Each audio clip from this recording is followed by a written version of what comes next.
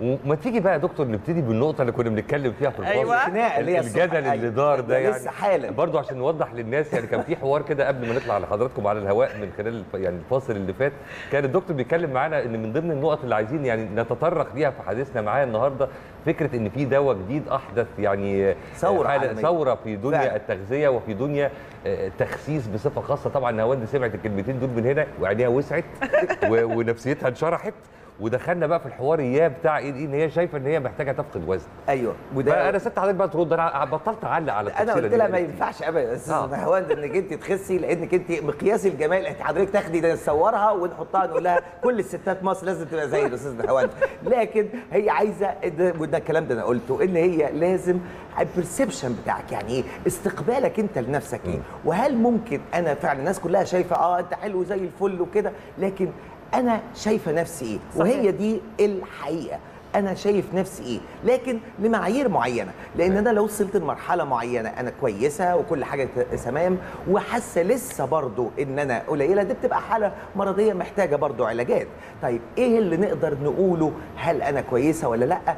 هي اللي نقدر نقول إن إحنا نزود الكتلة العضلية ونقلل الكتلة الدهنية عشان يعمل شيب مش عشان أبقى زيادة أو الناس تقول عليا حلوة خلاص لأ.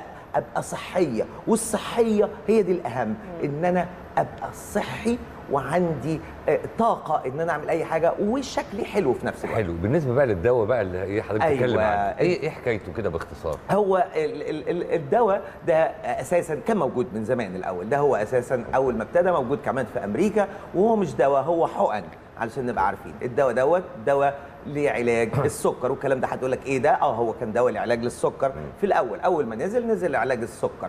آه، الحقن وكان لذيذ جدا وممتاز وبيجيب نتائج ممتازة.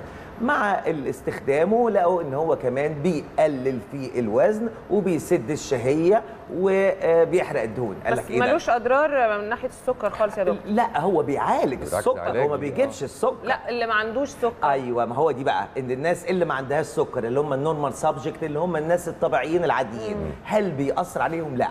هل بيوطي السكر؟ لا. هي. هل بيزود السكر أو بيجيب أمراض؟ لا برضه. طيب إيه ده؟ ده حاجة جميلة قوي طبعا. فهو لقوا إن هو بي- بينزل في الوزن. الدواء معروف جدا واخد تصريح من منظمة الصحة الأمريكية ال FDA فدي حاجة يعني خد على دراسات كتير جدا قبل ما ينزلوه. لما لقوا كده قال لك طب إحنا هننزله بقى للتخسيس.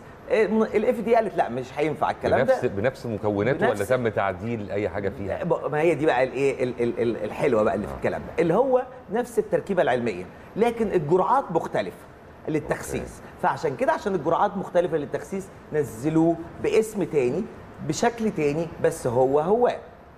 يبقى هناخده.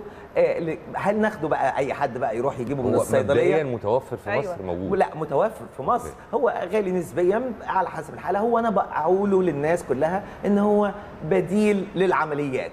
يعني اللي مش عايز يعمل عملية لل... للتخسيس يبقى لا هو ده بديل. بتفكري تعملي لا عمليات لا يا ست عملية إيه. حضرتك ده لو ده في أي الموضوع أبعد من اللي إحنا متخيلينه يا دكتور انت كنت بت- فكر بتفكري إن هو كده يعمل لك؟ عملية لا إحنا. نبلغ عليه نقابه الأطباء على طول ده, ده إحنا لازم نحجر عليها والله لا، يتحجر عليها رسمي بس ده سحر يعني زي ما حضرتك بتقول بديل العمليات يعني ناس كتير ممكن هي من غير بنج ولا أي حاجة و- ويعني والمخاطر بتاعت العمليات ده سحر كده تحت إشراف طبي آه، حلو يعني ما. ينفعش ابدا ولازم مش أي حد اللي ياخده لازم الدكتور هو اللي يحدد يبتدي معاه إزاي مع نظام غذائي ما ما فيش حاجة آه، اسمها آه، سحر صح، يعني إيه؟ صح. مش هاخد الدواء خدته من هنا خلاص أنا واكل اللي أنا عايزاه لا. هو مشكلة يعني حلاوة الدواء ده إنك حتى لو أنت عايزة تاكلي مش هتقدري ولو خدتيه بجرعات كبيرة قوي ممكن يوجع المعدة فعشان كده لازم إشراف طبي لازم بجرعات. متساوية وتزيد